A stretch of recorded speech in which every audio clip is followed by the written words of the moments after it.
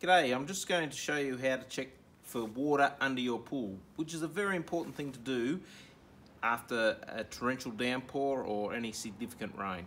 So first of all, you find along the deep end of the pool, you'll find an inspection port. Um, you remove the cover and then there's a number of ways you can check. I use a torch and just shine down and I can see whether there's water or not down the bottom of the standpipe. As you can see, or not see on this one, there's probably only about 100 mil of water, so it's not too bad. Otherwise, if you haven't got a torch, you can use your pool broom handle, put that down there and lift it out and it'll show you how much water's in the bottom of it. And now we'll move to the pump to show how we can remove it.